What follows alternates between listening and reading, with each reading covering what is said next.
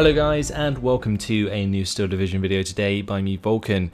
Today I have for you a battle group preview of the 16th Luftwaffe, a new division added in the second wave DLC. Now this was recorded pre-release, so just bear that in mind. And this isn't one of my battle group overviews, um, I will be doing those a couple weeks after the DLC has been released. But for now we're just going to have a look at the units and see what we have to work with. So, First of all, uh, Luftwaffe Aufklärer. These are basically a standard recon two-man infantry squad with uh, 6 HE. One thing to note is the uniforms are very damn cool in this division. They do come with the UE 630MG, which is a very interesting uh, sort of half track, I guess, which is uh, yeah pretty cool. Uh, comes with a mounted MG34 7HE 600 uh, meter range. Not the most superb fire support vehicle, but does have armor, so does mean that it might survive an engagement versus enemy infantry. So that works out quite well. Um, these are probably going to have to be brought in just because of recon availability in Phase A, but we also have Luftwaffe Fusiliers, which again have the cool blue uniforms I guess they're kind of like grey blue uniforms with the like camo over the top, which is interesting. But these guys have the Bergmann uh, MP28, very very old submachine gun, and they also have the Kar 98s as their main guns. So they've got a total of like 8 HE at close range, which is actually not too bad, and at long range 6 HE in combination with the MG15 that they have, another old machine gun. And uh, they also have the Faustpatron, which is, again, a very old weapon system. Uh, like just a simple rocket there. Just as effective as a Panzerfaust uh, in this game, but still, 100mm heat rocket. Um, it's going to be pretty nice. And honestly, for a recon squad, a nine-man recon squad, having a AT weapon that you can fire at 150 meter range isn't too shabby at all, which is quite nice. Um, so yeah, I think we're going to see a lot of these Luftwaffe Fusiliers. In Phase B, you can get some more Luftwaffe Aufklärer with the uh, Kubel MG, which has the MG42, of course, and some more Luftwaffe Fusiliers. Pretty awesome uh, recon units, although not much variance, just a couple, but still pretty nice units in themselves. In the infantry tab, We've seen Luftwaffe before with the Fallschirmjägers, but this division like almost solely re relies on them. So you've got Luftwaffe in Phase A, which have a smoke grenade, which can be relatively useful, and they've got reasonable HE, uh, 7 HE at close range, so maybe look after themselves a little bit, but I wouldn't get them in combat if I were you. Use that smoke grenade to get the hell out of there.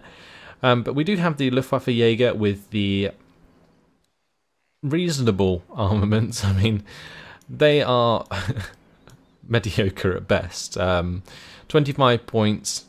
They do have the disheartened trait. 5 HE on their close range, 6 HE on their long range, and they do have the uh. Again, you can see it on that chap's back. It's a lot smaller uh, head than the uh, Panzerfaust, but still does the job. Um, yeah, they're going to be your line infantry, but I wouldn't rely on them too much. You also have access to the Luftwaffe Pioneers. These guys have two submachine guns as opposed to one, as well as the uh, two 20 HE power grenades. So these are actually going to be pretty decent for taking on infantry early on, especially in uh, close quarters combat. You also have access to the MG34, mounted MG34 with 800 meter range, and um, you get quite a lot of them quite high availability, 30 point costs. Um, these will be nice for helping you defend where you need to. So yeah, it's going to be decent uh, availability, that's for sure. And as you move into Phase B, well, you basically just get more of each. You get more Luftwaffe Führer, you get more Luftwaffe Jäger, more Luftwaffe Pioneer, and the Luftwaffe um, MG271, which is a mounted heavy machine gun. 9 HE power. Very, very awesome. Also 7 accuracy. If you look at the MG34, it only has 5 accuracy. That 7 accuracy can be deadly. So, pretty awesome MG, Not entirely sure if it will be used too much because you're probably going to rely on the availability of your units as opposed to the punching power. But uh, still, very, very cool unit in at the end there, the MG271, new addition to Steel Division. Very cool. I'm also just loving these these uh, uniforms. I really like them. Now in the tank tab, this is where things get a little bit funny with this division. You get the Panzer 730M, which is basically a Renault that's being captured, uh, French tank, and um, being mounted with uh, the Mac 31, uh, 8 HE power, but look at this speed, 10 kilometers per hour off-road and 15 kilometer per hour speed on-road. It's not even much of a difference, but these things are going to take ages to get to the front line, and um, they're only 10 points apiece. So I don't even know if they these would be worth bringing in. It feels like you'd be wasting 10 points bringing one of these in because they'd never get to the front line, and when they do, they'll just die. Because by the time you get there, um, they're just going to get popped very easily. But 600 meter range as well. I mean, it's going to take them ages to get into that range in the first place.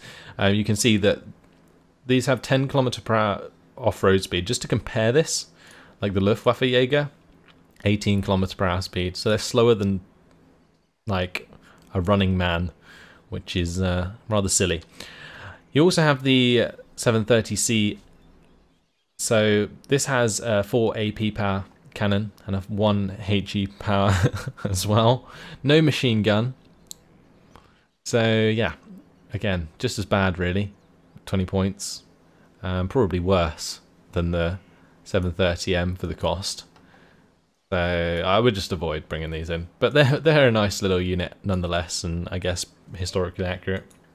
Moving into B, you get the uh, Stug 3 F8, which is nice. Uh, Befehl Stug 3 in Phase C, and Stug 3 Gs in Phase C as well. So nice little range of Stugs in the later phases. Your Phase A, probably not going to bring in any tanks. In the support tab, we have the Flammenwerfer as usual. Then we have the uh, UE 630F uh, Sicherungs, which is uh, pretty cool. It's basically a mounted MG271. Now, it's interesting that the 271 that's mounted here doesn't have the same accuracy in HE as the infantry one, because if it did, these would be very awesome little units, but Unfortunately, I am not entirely sure they're going to be that useful. 800 meter range is still decent, and obviously they're armored. But um, yeah, I'm not entirely sure people are going to be bringing them in. Bit of a meme unit. Um, we do have Opel Blitz munitions in phase A, B, and C in this division, so you're not going to run out of supply anytime soon. You also have access to Stür 42s in phase B, so these will give you a bit of punching power, uh, give you the uh, support you need to uh, push forwards with your infantry. Like I reckon like a couple of Luftwaffe Jaeger in front of one of these Stür 42s would work out quite nicely. So we'll have to wait and see if that does.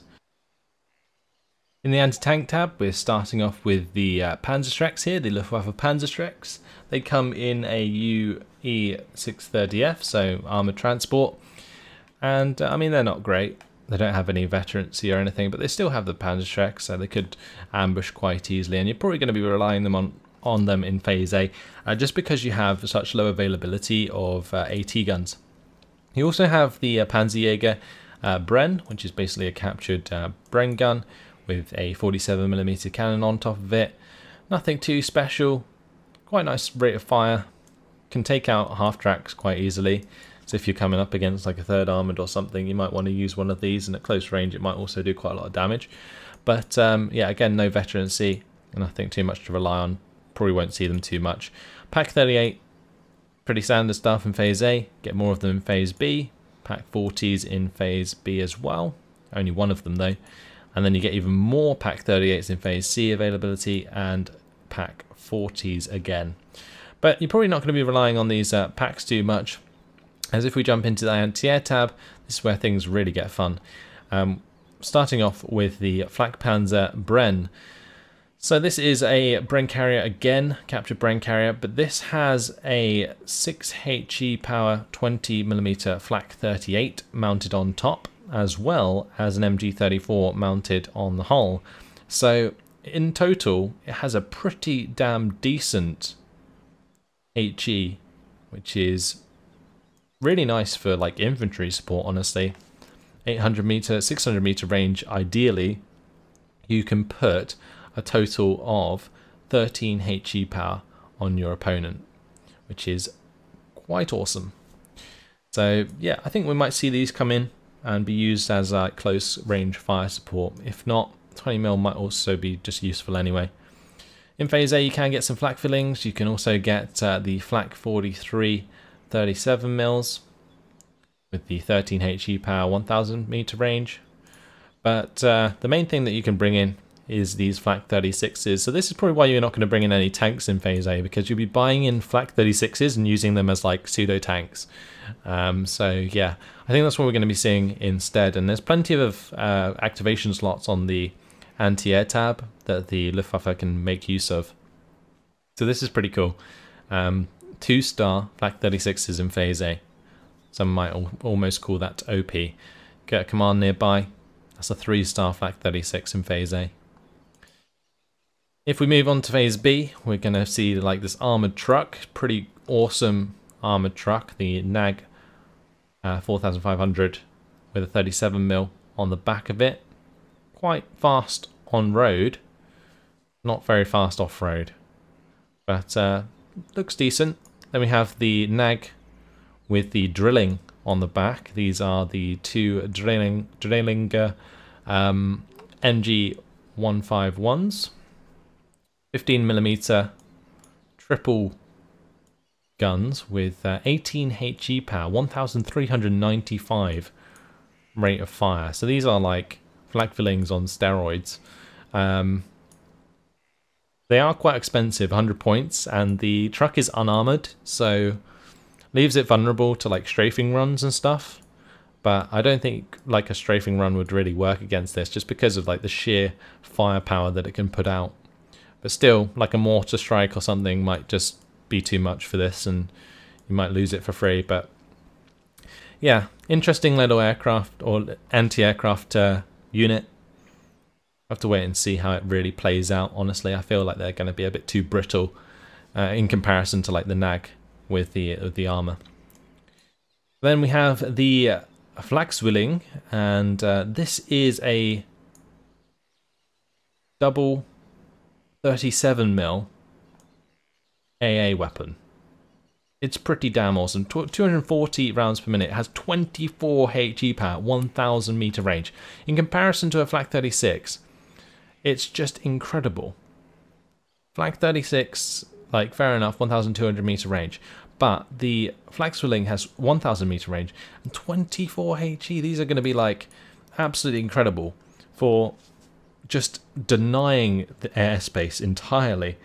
Bring one of these in in phase B and you're setting yourself up to be joined by two more in phase C. And uh, I don't think anything's going to be flying around, especially with all of these two-star Flak 36s that you may have noticed. There is an awful lot of these Flak 36s hanging about, or just we'll just call them Flak 30 or Flak 88s. Um, but yeah, still very, very good. And these will be your, again, pseudo tanks plus AT plus AA. And a combination of the Flakzwilling and the Flak 88s will certainly be a combo that's hard to deal with. You're going to have to rely uh, very heavily on uh, artillery to fight against the Luftwaffe. Now if we jump into the artillery, the artillery isn't so great with the Luftwaffe, so they're going to have a hard time sort of covering themselves, but they still have some decent stuff to work with. For example, in phase A, we get some mortars. These mortars aren't very good, 700 meter mortars with a 4 HE, but you do get the uh, 1200 meter range mortars in phase A, 10 HE, which is okay. And you, you can use them actually to cover off your uh, flak uh, 88s early on, as long as you're not bumping into any 24 pounders early. But um, we've also got the FK 288 which has a lot longer range, 2,600 meter range.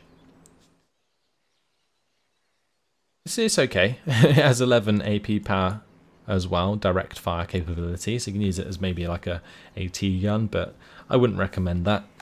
Um, in phase B, however, you do get the 1,600 meter range 20 HE power mortar, so this will allow you to cover your troops a bit more, and then you gain access to some more FK288s and the SFH 396R, which has a much better HE value, 2600 meter range, four rounds per minute, which is something that I think people will bring in in phase B alongside the 120 millimeter mortars with maybe the uh, 80 millimeter mortars in phase A. That's probably going to be your artillery tab. Now in the air tab, things are very, very cool. You got the uh, BEO Storch, which is the first off-map air piece in the game, or aircraft. Um, 173 millimeter off-map, this can bring in. 100 uh, points acts as a recon as well. And basically what happens is you have three strikes with this, and after they are used up, it, it just becomes a normal recon plane. So yeah, very cool. And um, works well in conjunction with your artillery or anti-air, sorry, when once you've already got some in. When like once you've uh, controlled the sky with the anti-air, you can have one of these fly above your anti-air and uh, hit those uh, strikes where you need them. So I'd save the strikes till later on, honestly, in this plane in general. It's still awesome that you can bring it in in Phase A just in case you need any quick um, off-map to help you out. Then we have the uh, ME109 G2R ones, which have the 15 HE power bombs. Just one 15 HE power bomb. Moving into phase B, we have HS129s with the 9 AP power. We've got uh, Focke-Wulf 190 A8 BR21s with the two 25 HE power rockets. I think these are going to be used a hell of a lot, not just because they have the rockets, but just in general as fighter aircraft. Focke-Wulf 190s have a lot of like HE value. You can see here these 20 mil cannons give it 8 HE power on its main cannons and 2 on its uh, MG 131s. And that basically puts 10 HE power on target and you get these behind someone that's falling back after being hit by all of your anti-air and you're going to be winning as well as having those rockets to use. Then we have some JU 188s. Nice addition to the uh, to the game. We've got the 28 50 kilogram bombs, another carpet bomber, similar to that of the B-26B in the uh, 4th Armoured. 28 5 HE power bombs, going to be hitting a lot of area and stunning stuff, not necessarily getting too many kills though. Another off-map recon plane available in Phase C, this one with 210mm off-map. And then we have a HS129B3 with the 16 AP power and more JU88s or JU188s. Two more with the uh, 28 bombs and two with the 1000 kilogram bombs. These are two 30 HE power bombs. Very, very awesome. I think we might see these used quite a lot. Two star veterans here as well. Going to be uh, taking a lot of fire before they start to fall back. So that's pretty cool. And that's your lot for the uh, 16th Luftwaffe. Pretty cool division. I really, really love this anti-air tab. It's so cool. I can't wait to see what people do with this division in the actual game when once the uh, DLC is released. Uh, but yeah, that's your lot. Um, hopefully you guys have enjoyed the video. Hopefully you'll join me in the next one. But thanks for watching and I will see you then. Goodbye.